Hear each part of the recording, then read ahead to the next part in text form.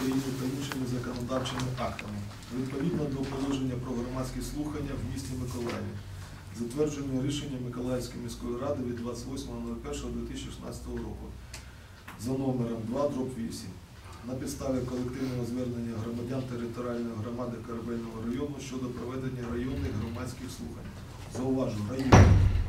Поэтому в громадських слуханнях приймати участь, повинні приймати участь громадяни Корабельного району, які мешкають на території Корабельного району.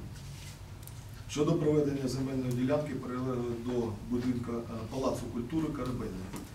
За цим принципом ініціатори проведення громадських слухань мають право змінити складові проведення громадських слухань, прийняття колегіального рішення щодо зміни формату проведення голосування, замінивши мандат.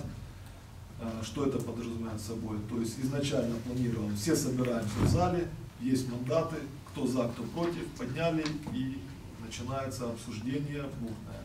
Я думаю, еще до того, как бы началось поднятие мандатов, много чего бы могло произойти, особенно в закрытом помещении. Поэтому, замінивши мандат на опитувальний лист письмова форма з метою упередження виникнення конфліктних ситуацій, порушення громадського порядку чи виникнення масових заворушень. Значит, э, я предлагаю наш диалог построить таким образом. Сейчас я коротко расскажу вообще об истории ОТДК Корабельного. Потом мы обсудим все-таки формат проведения 22 числа. Опытывальный лист. У нас есть пропозиции, если ни у кого не будет э, щодо его зміни. Еще раз хочу зауважити, ми, як адміністрація Корабельного району, приймаємо участь и организовываем конкретно и оказываем содействие в проведении этих громадских слухань. То бишь, как и на выборах. Я не хочу сказать, что это выборы, это все громадские слухания. То есть за нами стоит организация, правовая консультация, составление опытывальных листов, остальная документация, ну, которая необходимо оформлять. Инициативная группа, э, в нее входит три человека, значит, это Альберт Панченко, э, директор ДК Чабан Алексей и отец Богдан. Все, больше в инициативную группу никто не входит. Значит, вы в инициативной группе имеете право принимать, э, если мы принимаем все-таки за решение, э, за то, чтобы изменить формат проведения, то бишь не мандатами путем голосования, поднятия рук в зале, а все-таки путем опытывания, письмового, Поэтому вы должны создать э, вокруг себя, не вокруг себя, должны создать э, комиссию, которая будет за этим следить. Вы как инициативная группа, это в первую очередь должны туда входить. Э, Комиссия должна заниматься следующим, то есть принимать, согласно человек, который приходит на громадские слухания, у него должен быть при себе паспорт. Это мы все сейчас офи- оформим, напишем, будет объявление в средствах массовых информации, и инициативная группа в своей громаді, яку ви представляєте, должны це також проінформувати. То есть э, в паспорте должны фамилия, имя, отчество, прописка, корабельный район. Все прекрасно понимают. Сидит три девочки, к ним подходят, идет лист. Он по порядку записывает человек сам своей рукой фамилию, отчество, ставит адрес, роспись. Ему выдается листок опытываемый, он волеизъявление свое проходит, кидается в угол. По окончании этой процедуры берутся эти списки. Подписывается комиссия, что никто, то есть расчеркнулись, как на выборах. Процедура одна и та же, велосипед мы изобретать не будем. Проголосовало, к примеру, тысяча человек. Все, подписались. Есть у нас эти три списка, четыре, сколько их там будет. Подписали. Вопросов нет. Закрывается дельница, никто больше не приходит, никто не кричит, не оказывают влияния на инициативную группу и на комиссию. После этого достаются списки, сколько там будет питания, два или три, и третья стопка испорченные, значит, ложится. Первый вопрос, второй вопрос, третий вопрос. Во избежание, мне просто прошло время после пятницы, во избежание, будем говорить так, подделки документов и всего остального, максимум, что я могу предложить, это на этом листке, опытывальном листе, поставить печати. Есть сторона одна Альберт Панченко, вторая законная, и мы как администрация печать орготдела ставим вверху. То есть, э, я думаю, совместно никто эти три печати, во-первых, не подделает, их довольно-таки тяжело подделать, и это будет гарантировать то, что не будет никаких там на листочках массовых распечаток. То есть если попадаются листы, в которых нету этих печатей, они сразу признаются, что не составно, забракованы. То есть провели, просчитали. Есть понимание, вы подписываете этот акт, мы на основании этого акта отправляем письмо э, на мэрию и на горсовет. И еще раз хочу зазначить, это носит рекомендательный характер, в связи с тем, что здесь присутствуют депутаты от каждой партии, ну, пока Владислава Янтина нема. Вас избирали люди, жители Корабельного района. Вы, я думаю, переживаете за то, чтобы люди жили нормально, чтобы между собой не ссорились, не ругались, не выясняли отношения. Поэтому вы представляете их интересы, мы, как органы местного самоуправления, должны следить за законностью проведения и недопущения громадских правопорушений. Э, хочу вам напомнить также следующее, что в пятницу присутствовал новый начальник полиции, который зауважил, что в случае возникновения массовых беспорядков ответственность лежит на инициативной группе. Поэтому э, я не хотел бы, чтобы мы после этого проведения, либо во время этого проведения прославились не только там, на город Николаев, на всю Украину, а может быть и мир. Поэтому все должно пройти тихо, мирно и цивилизованно. Каждый человек имеет право на свободное вероисповедание и излагать свою мысль. Так как этот вопрос муссируется уже не первый год, наконец-то все-таки, я думаю, власти, депутаты Горсовета прислушаются к волеизъявлению граждан и примут правильно взвешенное решение. В этом вопросе есть какие-то дополнения? Может, Мы пока не обсуждаем да, по пока, опытанному листу. Да, давайте по э, инициативной группе. Все-таки инициативная группа, как юрист, надо отметить, что инициативная группа Алексей Чебан и я. Э, Богдан не входит в инициативную группу. Значит, э, но, должны входить. Не, не должны, ну, как по положению. Просто развивая тему дальше, то в вашей комиссии есть норма в положении о возможности создания организационного комитета. В связи с создавшейся обстановкой мы договорились о том, что будет создан, создан организационный комитет, в который принято решение войдут представители всех фракций, чтобы были представлены. Мы с вами говорили в пятницу. Присутствовали 10 человек. Я вам объясню, что э, попросил, что должны входить все стороны. Ну, я, нет, так вот Вы теперь мне ответили войдут... в пятницу, что вопросов нету. Так сейчас входит, да, как, э, как туда организационный комитет входим мы, и плюс мы, конечно же, представители, э, сейчас мы решаем, сколько должно быть представителей, по одному. Ну, как организационный комитет, мы договариваемся, что будет по одному представителю. От политических партий, от ДК, от церкви. Правильно? И ну, я, наверное, как инициатор, что ли, главный. Вот. И этот организационный комитет, а, дальше хочу сказать, что э, ведет работу. Дело в том, что по нормам положения э, исполнительная власть, она не может э, участвовать и, так скажем, диктовать свои условия какие-то. Э, участие, конечно, вы понимаете, в том плане, что... Э, Альберт, да. я вас услышал и понял. Значит, э, вы мне, к сожалению, я так понял, вы подготавливались к этому совещанию, монологи начинаете читать. Э, я сразу сказал, мы не участвуем, мы оказываем содействие да. проводим это совещание, которое вы должны сейчас определиться с этой инициативой, ну, инициативной группой, понятно, с этим комитетом, который будет заниматься подсчетом голосов и смотреть за тем, что все. Да. Сейчас мы готовы обсудить вопрос, кто будет входить в его состав. Да. Конкретно. Давайте да. начнем. Э, Александр Николаевич, да. прежде чем начать, мне кажется, обсуждение э, целесообразно ответить на один вопрос самый важный.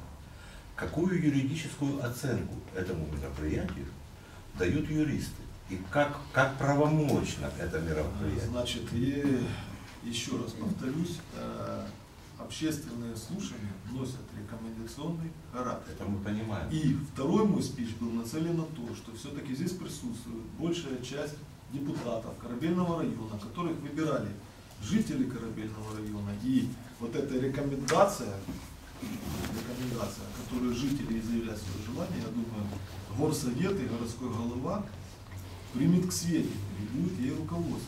Ну, это понятно. Я имею в виду сам процесс голосования и вот эти опросные листы и подведение итогов. итогов. Не будет ли нарушений закона в том, э, как мы это сделаем вот 22 вот. вот это важно. то потом не было моментов для обжалования. Давайте в рамках организационного комитета Да. мы это обсудим. Я все-таки хочу закончить. Я понимаю, что власть не должна принимать участие, но я хотел бы просить, чтобы какой-то представитель от администрации, кроме депутатов, э, инициаторов, участников сторон процесса, все-таки был. э, Я входить не могу. Ну, не вы, Еще раз. Александр Павлович, кто-нибудь, Значит, мы это обсудим. Ну, давайте мы это с точки- юридической тоже обсудим. Значит, э, мы это сейчас обсудим. Значит, я так понял, мы готовы приступить к обсуждению, как говорится, уже технических вопросов, но перед этим я хотел бы сделать краткий экскурс в историю. 56 лет назад, правильно, заводом «Океан» был построен Дом культуры «Океан». Долгую, это еще был Жертвенный район, долгий период времени не было никаких вопросов. До 2005 года, если мне не ошибает память, да, 2005 года этот Дом культуры фактически земля числилась за потом уже Миколаевскую морскую раду, когда в 1973 году перешел, ос- основали корабельный район. Но на балансе завода «Океан». Все было нормально, пока, будем говорить, технические вопросы, там, э, развитие завода уже не смог поддерживать этот дом культуры. И было принято решение тогда областной властью и городской властью, что Дом культуры заберет областная власть и его э, на баланс возьмет э, Жовтневый район. Что и было сделано в 2005 году. После 2005 года, к сожалению, экономическая ситуация в стране не улучшалась, бюджеты э, лучше не становилось. Если культура всегда шла в последнюю очередь, все мы это прекрасно знаем. Директор ДК может подтвердить, что на культуру как тогда, так сейчас, в принципе, по последнему по остаточному принципу выделяются кошты. Но в последнее время, слава богу, я думаю, с децентрализацией ситуация изменилась. Я Но. ставлю 5 копеек. Мы Можно 3,5 я миллиона выделили крыша новая. Можно я скажу? Я все-таки закончу. Э, Значит, э, в 2014 году ставился вопрос, если кто-то не знает, о том, что, Вячеслав, вам интересно, или там что-то интереснее? В 2014 году ставился вопрос о том, что на 2015 год э, Жовтневый район не планирует финансирование Дома культуры э, «Океан». По той причине, что их бюджет не выдерживает эту нагрузку. У них в районе помимо этого ДК еще есть другие ДК, которые они должны восстанавливать. И плюс в этот дом культуры ходят в основном жители Корабельного района. Правда говорю? Правда. Начался маленький процесс, э, говорить так, распределения основных фондов э, ДК «Океан».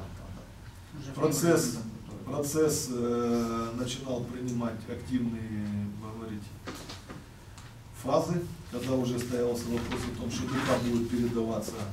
Вы заметите, ни на одном из этих я за церковь вообще не говорю, потому что это еще, как говорится, история. Когда уже ДК будет передаваться частному инвестору, появились некоторые инициативные товарищи, которые рассказывали, что и я, кстати, больше чем уверен, что весь этот конфликт связан из-за этих инициативных товарища, конкретно одного. Он весь и возник. Э, Что ДК будет передано в частные структуры, все основные фонды будут распределены по другим э, домам культуры Жовтневого района. И, в принципе, Корабельный район на тот период оставался вообще без дома культуры, так как ДК Металлургов – это частная собственность, ДК Кульбакина, которая находится в Кульбакино, если кто-то не знает, там всего 21 человек, и его площадей и возможностей не позволяет, ну и плюс удаленность от основного жилого массива, оно бы не обеспечило потребности громады, то стал вопрос, что Корабельный район может остаться вообще без дома культуры и конкретно без места, где можно проводить какие-то мероприятия районного масштаба. Поэтому на тот момент э, было принято решение мэром Ранатуровым Юрием э, о том, что ДК будет э, принято по согласованию Жовтневой э, Рады и Николаевского горсовета на баланс города. В 2014 году, в декабре месяце, Жовтневый район получил письмо гарантийное, что э, в 2015 году на первой сессии будет рассмотрен этот вопрос за, после того, как будет рассмотрен вопрос на сессии Жовтневого района. Правильно? Да. После этого Жовтневый район принял бюджет на первое полугодие 2015 года. Фактически в июле месяце уже должны были отключить все В коммуникации июне. в июне. Всем людям вручили уведомления, и ДК как таковое должно было прекратить свое существование в априори. Просто, как Если быть точным, факт. 25 мая. Вот это подтверждает директор ДК. Значит, учитывая благосклонность э, на тот период мэра и депутатов нашего горсовета, было принято решение о том, что город все-таки забирает ДК.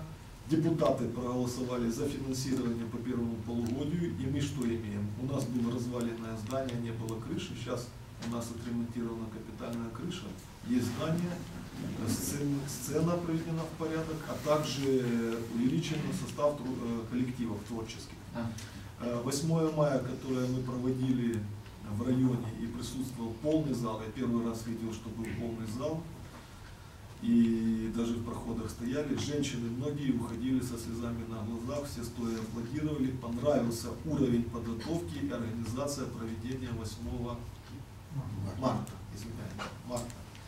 На очень высоком уровне, то есть видно, если вкладываются деньги, есть желание у трудового коллектива, а у них тогда было желание, поэтому ну, они написали обращение за то, что они хотят оставить. И будем говорить, как оно есть, это единственный дом культуры, который все наши массовые мероприятия, пусть это проводит громада, казаки, кто бы ни проводил, озвучка, все коллективы, это все числится в ДК. Эти люди все репетируют, эти люди получают зарплату, и все эти мероприятия, как мы говорим, проходят, организовывает им какая-то там группа людей, но в этом принимает и администрация, и Дома культуры, которые есть на территории района, и которые получают зарплату с бюджета города Николаева. То есть фактически организовывают все культурно-массовые заходы на территории Корабельного района.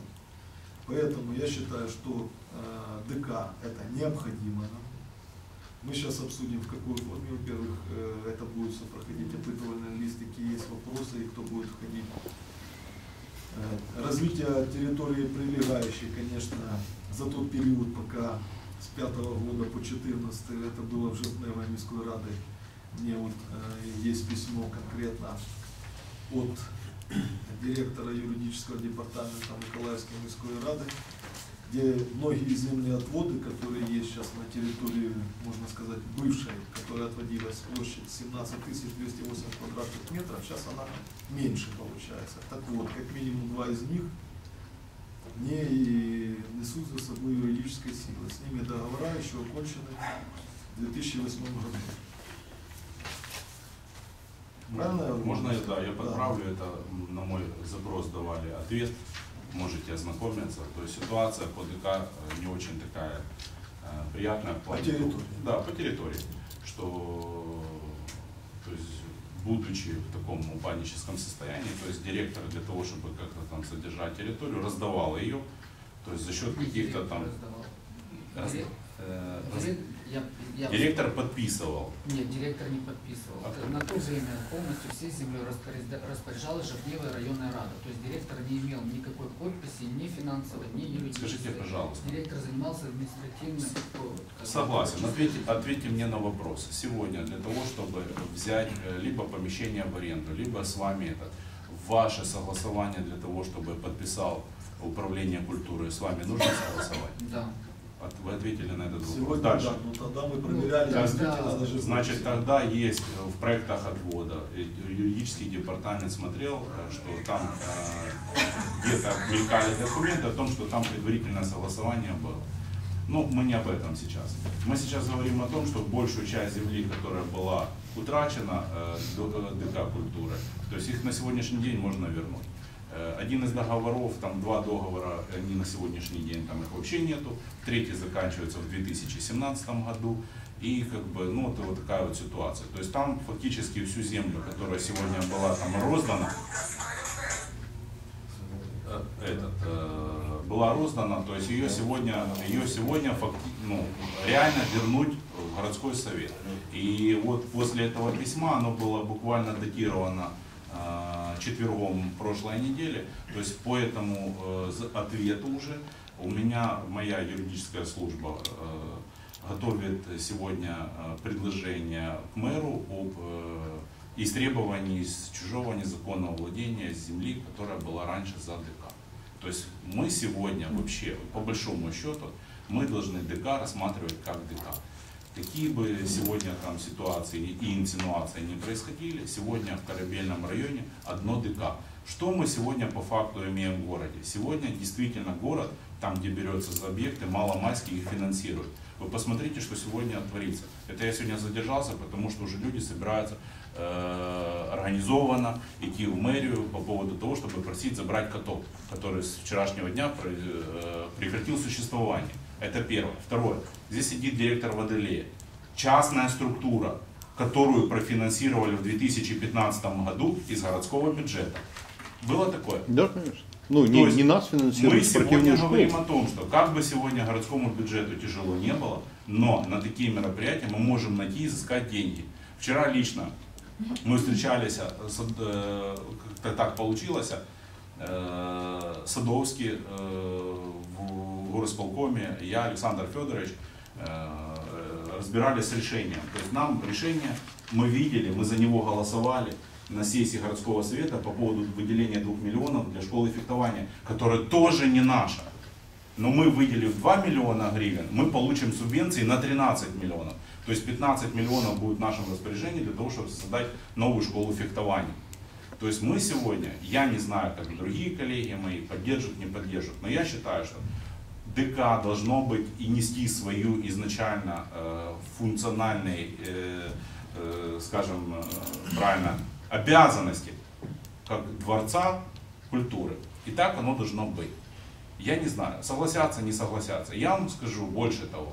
Сегодня все проблемы, которые связаны по городу, их возможно решить. Даже э, найти там э, другой земельный участок, поспособствовать выделении средств для э, организации каких-то мероприятий, там, подготовительных, да, были где-то затрачены деньги. Сегодня это все решаемо. Сегодня большая часть э, депутатского корпуса адекватные, нормальные люди. И тому под- подсказало голосование предыдущей сессии.